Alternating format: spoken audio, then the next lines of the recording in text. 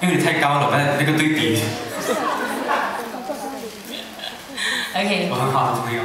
当然刚才我有看你，知道吗？你有看我吗但是你有没有到底看到我？有所以我看错人，是不是？我从头到尾都在看了。你，是吗？啊，是我从头到尾都在看你，我太紧张了，我就等这一刻要上来。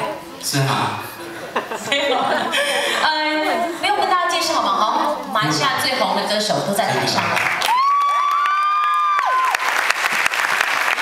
很开心，谢谢你们来。对对对。谢谢。哎，这这种情况，哎，这种情况是我主持的，你干嘛抢我的话？我来，你站旁边。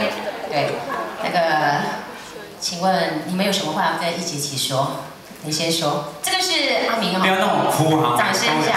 哎，你坐那边就好了，你坐那边。对啊，哎，提出拿一盒出来。呃，让你先讲。好呃，大家好，真的很开心看到一节期今天晚上这个演唱会，因为我觉得非常的一节期。然后平时其实我们知道一节期是这个样子的，然后只是很多的呃听众不知道，不能看到专辑以外的那种的一节期。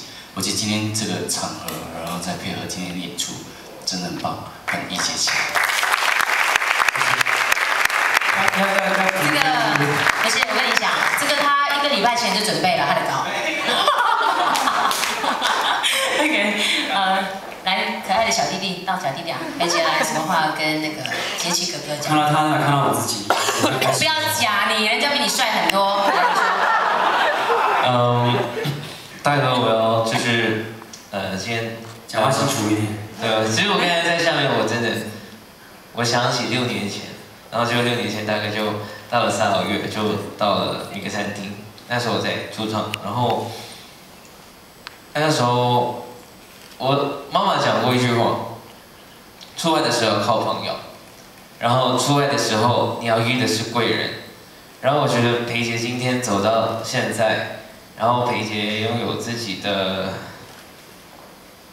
歌曲，然后都是大哥在帮忙。然后从以前大哥说你一定要来到西马，然后来到西马我写歌给你，然后一定要好好的唱歌。然后直到今天我坐在这边，真的很感谢大哥。所以，我今天也带了一个补品来，对，我带了烟。你的意思是说我老了是不是？因为我觉得，因为在前些日子那个造势，我造势吃我吃东西很选很挑。哎，我今天带了燕窝来，OK 吗？燕窝啊，那，这个是你要唱几场校园的时候。你真的是燕窝哎。你你带六罐来，你好意思吗？我们怎么够分呢？我我在谢谢我再补上好不好？帮你写歌。其实还有一个用意嘛，就是这个音乐会很很筹备了蛮久的，然后还有一个用意就是，反正大家接下来也是没得休息了，对，嗯因为接下来呢，就大家还要再帮裴姐制作一张全新的专辑。